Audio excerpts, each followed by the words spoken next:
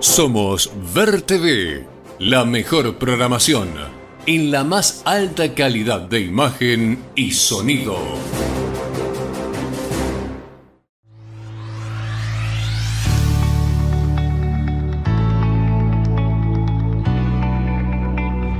Comuna de Santi Espíritu. Sigamos cambiando. Vamos juntos. Gestión César Bainotti.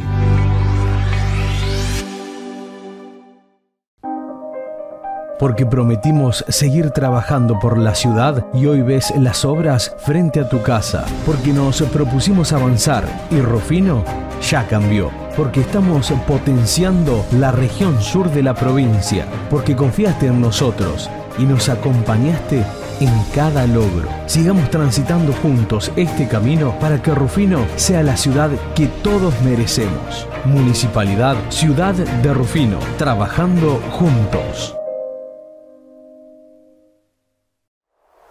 ¿Cómo están? Nosotros listos para ya emprender una nueva recorrida a través de otra de las propuestas del canal Ver TV y como siempre hacemos referencia a nuestros pueblos, nuestros barrios, esta recorrida y encuentro con diferentes voces sobre distintas temáticas e incluso iremos hacia diferentes territorios de la provincia de Santa Fe, localidades, pueblos, ciudades de la región cercanas a Venado Tuerto donde nos encontramos en el barrio Bernardino Rivadavia, pero también quizás iremos hacia otras provincias gracias a la labor de cada uno de nuestros compañeros del Ver TV que van en búsqueda de las diferentes voces y en este caso también gracias a ustedes por estar del otro lado. Debemos cumplir como siempre con la presentación del programa para luego sí ya comenzar a encontrarnos con cada una de las voces de esta nueva edición.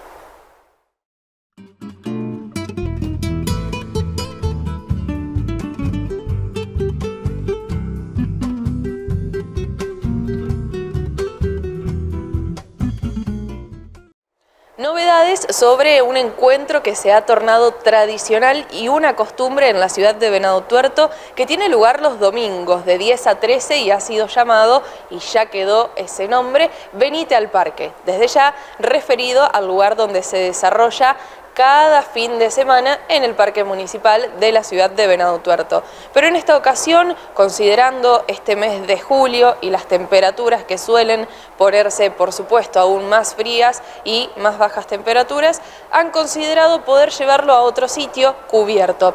Vamos a enterarnos a través de esta entrevista con Camila Vicente, quien está al frente del área de emprendedurismo, coordinando este espacio desde el gobierno de Venado Tuerto, para enterarnos de qué manera encararán este nuevo proyecto, simplemente se cambia el lugar de Benita al Parque para brindar mayor comodidad a cada una de las personas que se acercan a recorrerlo, a comprar, pero también fundamentalmente a los emprendedores de cada área por las temperaturas que hemos tenido estos domingos y lo que vemos que, está proyectado, decidimos cambiarnos a un espacio cerrado.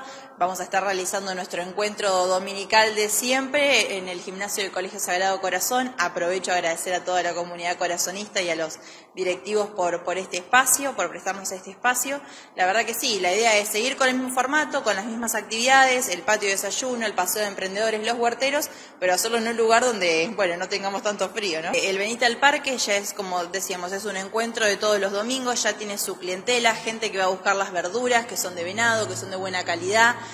gente que se lleva las cosas ricas, dulces para, para postre o para la tarde, bueno, es mantener esa, esa ventana de comercialización, digamos que ya está acostumbrado tanto el cliente como el emprendedor y no, digamos, no detenerla pese a las temperaturas que hoy estamos teniendo. Le vamos a armar como un barcito con ese patio de desayuno que ya venimos trabajando en el Benita del Parque y este domingo se va a sumar Cristina Eisenberg, que es nuestra asesora estrella del programa Cultivar, con una, un taller sobre aromática, sobre su uso, su multiplicación, así que también los invitamos a todos a que puedan venir, obviamente en el mismo horario de siempre, de 10 a 1, nada más que en un espacio cerrado. El producto que se encuentra en un paseo de emprendedores, en, eh, en el paseo de huerteros, siempre es de la mayor calidad, eh, se cuida eso, se trabaja sobre eso, así que bueno, la verdad que invitarlos a todos a que sigan apostando esto, que es producción local, que es una red de emprendedores que todos los días crece más en nuestra ciudad y que aporta muchísimo a la economía de la misma.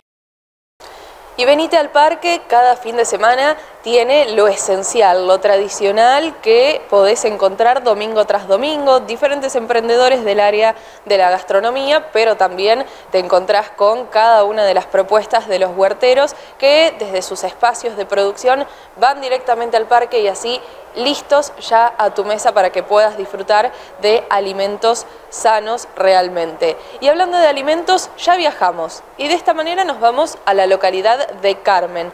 Vamos a escuchar a la nutricionista que es la encargada, en este caso, del hogar de adultos mayores de dicha localidad. Vamos a enterarnos de qué manera están transitando hoy, pero también nos lleva a ese pasado cercano que tuvo que ver con la pandemia y de qué manera ellos pudieron continuar trabajando, quizás en contacto con su familia fuera del hogar, pero también brindando los cuidados necesarios y manteniendo la forma de trabajo para con cada uno de los adultos mayores que habitan allí. Eh, sí, en este momento estamos con toda la edificación de la ampliación de un sector nuevo en donde se van a incorporar entre 8 o 10 camas, dependiendo, van a ser habitaciones eh, más como privadas, de una o dos, y tenemos 25 abuelos, que es la capacidad con la que contamos. en este momento estamos eh, a, pleno. bueno, ellos tienen actividades, recién se termina de ir la profesora de educación física, tienen acompañantes terapéuticos para hacer actividades a la tarde, hay psicólogos, psicopedagogos, eh, que nos entretienen en tanto en la mañana como durante la tarde. Eh, pero bueno, durante este tiempo de pandemia todo eso fue limitado, así que ya a partir de este año que nos permitió, nosotros tenemos un convenio provincial, así que lo que es protocolo nos rige la provincia y eh, como se volvieron a permitir ese tipo de actividades, eh, a partir de este año ya las, las pudimos volver a, incorporar. Eso hace que ellos también estén más entretenidos y aparte de que, bueno, ahora pueden eh, hacer salidas que tampoco tenían antes. así que, o recibir visitas. Claro, ellos ahora, bueno, reciben visitas todos los días en mañana o tarde, pero también se pueden ir a la casa de familiares, a almorzar, a pasar el día no a dormir, pero sí a estar durante el día eh, con su familia y después vuelven a, la residencia. Los protocolos fueron muy estrictos, eh, obviamente como te decía, la provincia es eh, lo que nos mandaba, así que acá solo ingresaba personal, no había visitas, las visitas eran a través de vidrio, sin correr el vidrio, siempre con barbijo, tanto todo el personal como los que teníamos que venir médico o algo de eso, bueno, todo con protocolo estricto. Ellos no salieron para nada, estuvieron un año y medio casi, que se la aguantaron re bien, pero bueno, no ingresó, que era el periodo más bravo. Eh, tuvieron episodios de COVID en este año recién, pero ya ellos ya tenían tres vacunas, la cuarta ya también la tienen colocada. Lo pasaron como una gripe muy leve, con alguna tos, gracias a Dios, eh, pero sí, la parte más dura eh, fue muy estricto nosotros lo, es más, todavía aún no tenemos el 100% de, de libertad en, algunas partes de los protocolos. Pero bueno, eh, de algo nos sirvió bastante porque los pudimos contener en, ese año y medio que fue el más duro hasta que tuvieron bien las dosis de la vacuna ellos. Bueno, ellos tienen un menú eh, que llamamos mosaico de verano y de invierno en donde se van variando todo lo que es carne, consumen todas las carnes, pescados, todas las verduras, se adapta a la patología que hay algunos residentes que tengan puntuales, sea diabetes, hipertensión, eh, algún problema renal o bueno, lo que tengamos que hacer. Eh, pero bueno, también en pandemia eh, la alimentación fue como un recurso de si quieren comer algo distinto, si quieren algún postre, porque era lo único distinto que podían ver. Entonces se charlaba más con ellos y había, siempre ellos igual tienen un menú muy variado y hay que considerar que esto no es, un, no es una institución de internos agudos, ellos son crónicos. Entonces, lo que no comen acá lo pueden llegar a comer un fin de semana que lo llevan la familia, pero hay otros que a lo mejor por X motivo no salen tanto. Entonces intentamos nosotros darle el gusto. Eh, son 10 empleadas eh, de personal entre enfermeras, ayudantes, mucamas, chicas que ayudan a la limpieza y tenemos, bueno, el acompañante terapéutico, el psicóloga, profesor de educación física, eh, psicopedagoga y, bueno, los kinesiólogos que vienen a atender a los pacientes que necesiten puntual. Seguimos recorriendo las calles de este pueblo de Carmen y ahora con una mirada más general y también desde la perspectiva comunal, porque vamos a escuchar a su presidente, Walter Celada, quien se refiere a diferentes aspectos y fundamentalmente las obras para esta localidad del sur santafesino. Estamos siempre próximos a terminar todas las calles del pueblo con cordón cuneta y suelo ripiado. Solo nos faltan 10 cuadras, me parece, para terminar todo el pueblo. Hemos hecho bastante, una importante cantidad de 23 cuadras de asfalto. Hoy en día estamos haciendo también desde la ruta sobre Avenida Sarmiento hasta donde comienza el pavimento también con asfalto. Bueno, en Cloaca estamos realizando, estamos, hemos dado a hacer el, el proyecto, el estudio, para luego ir a solicitarlas. Hoy tenemos un día muy, muy, muy importante en nuestra localidad, debido a que a las 13 y 30 se abre la licitación para el revestimiento de un canal sobre calle Lisandro La Torre, algo que es muy importante para nosotros, nuestro pueblo siempre la prioridad ha sido esa, tratar de limpiar canales, revestirlo, todo eso, ya que estamos en un nivel más bajo. Una inversión importante, ¿no? Sí, una inversión ronda casi los 36 millones de pesos.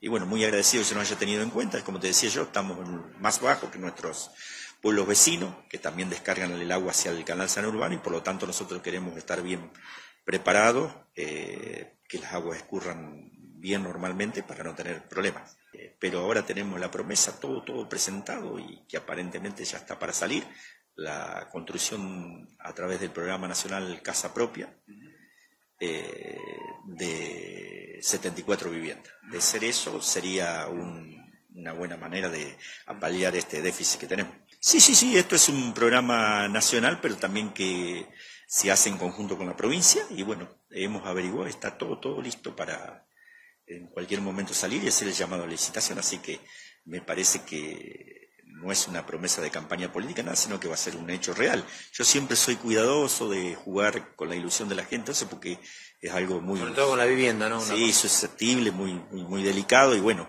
vemos los vaivenes que tiene nuestra economía y por ahí eh, todo proyecto se puede derrumbar, entonces voy con mucho cuidado, pero vos me preguntás y te tengo que informar la realidad. ¿Cómo está con el tema de paritaria? ¿Cómo está con el tema de sueldos, salarios y sobre todo en esta época del año donde hay que pagar aguinaldos?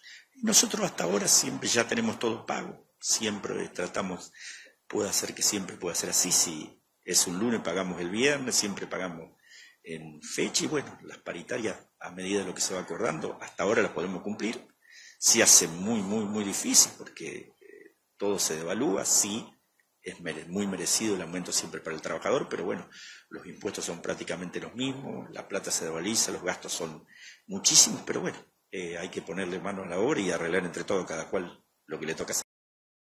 Y de la mano de esta temática de las obras en las diferentes localidades, nos vamos hacia el noroeste bonaerense, precisamente al distrito de General Arenales, para escuchar al secretario de Obras Públicas que nos va a detallar sobre los proyectos que tienen y cómo lo van desarrollando. A veces surgen algunos obstáculos en estos procesos, pero el objetivo siempre es cumplir con las obras, una necesidad, una demanda actual en cada época para quienes habitan cada pueblo o ciudad, pero también algo que por supuesto quedará allí ya realizado para una mejor convivencia de cada uno de los habitantes de las distintas zonas. En este caso, el distrito de General Arenales. Hola, buen día, ¿cómo va? Bien, ya por suerte hoy terminando, eh, eh, en este momento deben estar tirando los últimos metros, así que ya nos queda cansar la banquina y ya liberamos el tránsito. Bueno, los dos primeros arreglos eh, los, hizo la empresa. Después, bueno, tuvimos que, se demoró el trámite porque tuvimos que hacer análisis de suelo, análisis de asfalto, para ver bien de, cuál era el problema. Eh, después de todos los estudios, eh, sí tuvimos que nosotros abonar una parte porque la parte del suelo la habíamos hecho desde el municipio y como que las culpas eran compartidas, por ahí el asfalto estaba, los análisis daban bien, el suelo daba más o menos, entonces eh, hicimos todo un informe acompañando todos los los estudios y demás, y bueno, ahora en la última etapa eh, tuvimos que abonar una parte. Esperemos ahora poder terminar de calzarla bien las máquinas para que no queden descansadas porque quedó un espesor bastante alto. Bien, esto fue el espesor que se colocó, tuvo que ver específicamente con los resultados que arrojaron los análisis del suelo. Se hizo análisis de suelo, de, no, de, perdón, de, asfalto y ahí eh, se temían la, la, altura de la calicata, temían la resistencia, la consistencia del asfalto, la cantidad de asfalto, la cantidad de Se, hizo todo en la Facultad de La Plata y bueno, eh, y bueno, el otro, no que bueno, la idea era terminarlo y que una vez por todas quede bien hecho. Y regresamos aquí a Venado Tuerto para irnos a una de sus instituciones públicas, precisamente uno de los servidores de salud, y hacemos referencia al Hospital Regional Doctor Alejandro Gutiérrez. Y en este caso, siempre a disposición cada uno de los profesionales y todas las personas que allí trabajan para poder brindar la atención en diferentes áreas y aspectos a cada una de las personas que lo requieren, pacientes desde diferentes ámbitos, pero también pensar este hospital como un hospital escuela. Y no solo para aquellos que ya transitaron su carrera de medicina y están realizando residencia, por ejemplo, sino también para los más jóvenes, aquellos que están culminando el nivel secundario, transitando los últimos años y llega el momento de tomar la decisión de ver las opciones y de elegir qué comenzar a estudiar en diferentes niveles. Y en este caso, para poder percibirlo, tal vez de una manera más cercana, con tal vez sus futuros colegas, pero en este caso vamos a escuchar más detalles. Por un lado, en primera persona, a alumnas de uno de los colegios educativos aquí de la ciudad de Venado Tuerto y también al médico cirujano Juan Antonio Segarra, que nos cuentan esta experiencia y esta propuesta del Hospital Escuela. El hospital orgulloso de ser un hospital escuela y en este aspecto colabora con, la gente joven que tiene la inquietud de estudiar en las ciencias de la salud, porque algunos son por nutrición, otros son por enfermería, otros por bioquímica, otros por medicina, otros por kinesiología. Y entonces en ese afán de pretender ingresar en sus estudios, a veces llegan ahí al momento de la facultad de la se encuentran con que no saben nada de lo que tienen que hacer después. Esta es una forma de que ellos se despierten, se aviven, digamos, abran los ojos sobre cómo es tratar con, los médicos, con la realidad. La realidad es que nos soltamos todas las, mañanas, eh, hablamos de un paciente, de otro, protestamos entre nosotros, eh, vemos qué paciente hay, qué hacemos, qué le indicamos, nuestra relación con los propios médicos. Doctor, recorre todas las áreas, entiendo, ¿no? Ellos tienen una planilla donde van recorriendo los distintos lugares del hospital, por lo menos en, la parte de la gente de medicina, ¿cierto? En el caso mío, que yo soy el jefe del servicio de cirugía, se sientan en la mesa donde nosotros nos reunimos, escuchan qué enfermos hay, qué discusiones hay de uno u otro enfermo, qué enfermo se operó, qué es lo que estamos haciendo, qué es lo que nos parece que se hizo bien, qué, nos parece que se podría haber hecho, qué es lo que habría que hacer eh, incluso han estado en quirófano, viendo cirugías. Eso, y, supongo que los otros hacen parecido, están, discuten casos. Eh, obviamente que para ellos eso a lo mejor es chino porque están recién empezando, pero ven la mecánica, ven la forma en la cual nos desarrollamos y ven si les gusta. Eh, la verdad que fue muy linda. los doctores muy buenos, te llevaban de una habitación a la otra, te explicaban los casos. Sí, como dice el doctor, eh, están, eh, yo por suerte tuve la oportunidad de entrar a la cirugía, de entrar al quirófano, y hay casos y, algunos nombres que no, que no conoces, que mientras los vas a ir estudiando, quizás yo me acuerde de esa vez que estuve en el hospital cuando entré al quirófano. Eh, fue una experiencia muy linda que no pensé que con todo lo del COVID que se iba a poder hacer. Eh, no, me, me gustó mucho. ¿Realmente estás pensando en poder seguir esta carrera de medicina? Sí, sí, sí, en medicina, más allá de todo lo que pasé, por la guardia, por la cirugía, por pediatría, eh, de todo, te llevas un aprendizaje, de todo, ves realidades muy distintas, aprendí muchas cosas, más allá que no entienda tantos términos, se aprendió mucho, sí, sí, se aprendió un montón. Em, también tuve la experiencia de poder entrar al quirófano, entré con cirugía general y también entré con traumatología hoy. Eh, y no, y yo también, eh, esta pasantía me dejó más en claro lo que yo quería seguir y me, bueno, me lo aclaró, que yo sé que quiero seguir medicina y también ya tengo una idea de la especialidad que me gustaría seguir. Em, pero no, sí, fue muy linda, los doctores nos recibieron muy bien, em, No, y fue muy lindo, la verdad. Y en este caso seguimos hablando de instituciones y el trabajo en conjunto, pero nos vamos hacia otra ciudad, precisamente Rufino. Vamos a escuchar a su intendente, Natalio Latanzi, y también a algunos integrantes de Rotary de dicha ciudad, porque tras la compactación de algunos vehículos, cuyo objetivo, el dinero que se obtiene de esto, siempre es otorgarlo y brindarle el beneficio a algunas de estas instituciones y agrupaciones que por supuesto tienen un rol que ayuda a la comunidad. En este caso vamos a enterarnos de qué se trató y cuál fue el monto que lograron obtener para ceder al Rotary de Rufino.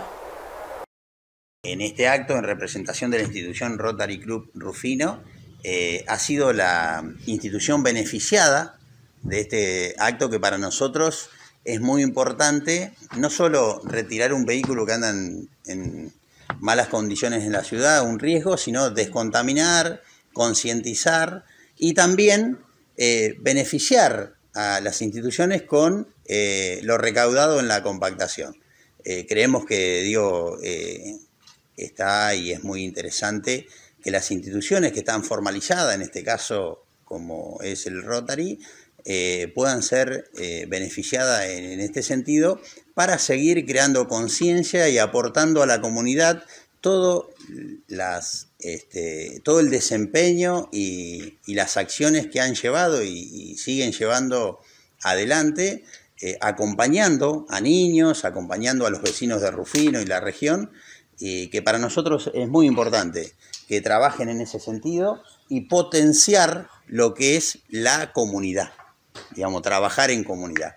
Así que bueno, para nosotros eh, no es un, un acto más, no es un hecho más, el descontaminar, compactar los vehículos que no están en condiciones de circular, agravando, eh, digamos, los riesgos de accidente, agravando la situación de, nuestros vecinos.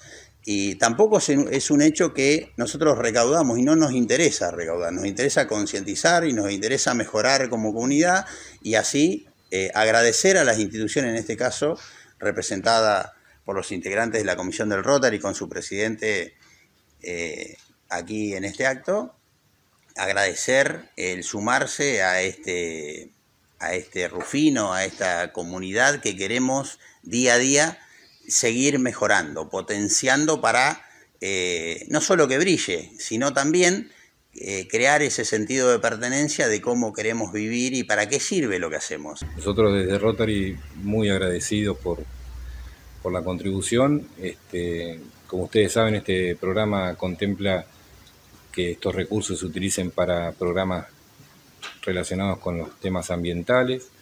Este, nosotros tenemos funcionando hoy en Rotary un grupo de jóvenes que hemos invitado a, trabajar en justamente estos temas, con lo cual este, este aporte nos, significa un, un empujoncito eh, a, una agenda que estábamos llevando adelante, que justamente eh, siempre el tema son los recursos, así que desde ya muchísimas gracias por tenernos en cuenta y esperemos que, que salga bien todo lo que queremos hacer.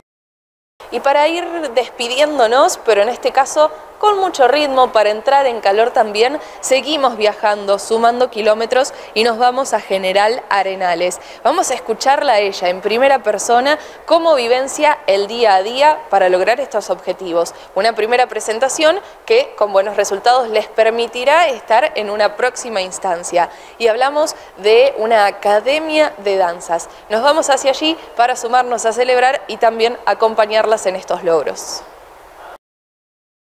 Bueno, estuvimos presentes en la selectiva mm, del torneo Gym on Stage que se hizo en Lincoln en el Teatro Portapía el domingo pasado y bueno, es una selectiva regional eh, y la verdad que nos fue excelente. Presentamos, bueno, presenté dos grupos de los 15 que tengo, porque bueno, lleva tiempo, lleva preparación y bueno, estos dos grupos dieron con el tiempo, llegaron con el entrenamiento y bueno, fue posible presentarnos. Lleva tiempo de entrenamiento, lleva tiempo de preparación y bueno, eh, ya te digo, son bastantes grupos los que tengo, desde babies, infantiles, bueno, y estos dos, que es eh, juvenil y adulto, estaban preparados y capacitados como para subir al escenario y demostrar. Bien. Eh, así que bueno, eh, la verdad que les fue re bien.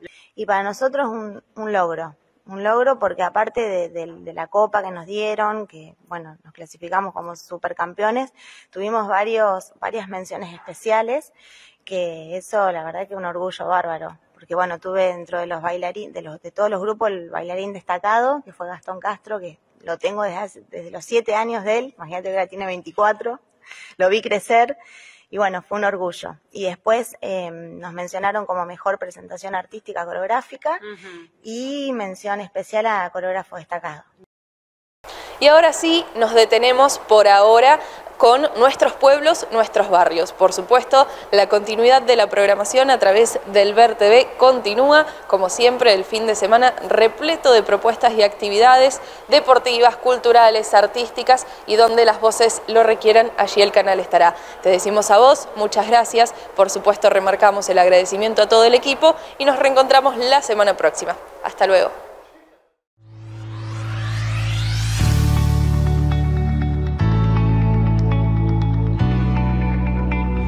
Comuna de Santi Espíritu. Sigamos cambiando. Vamos juntos. Gestión César Bainotti.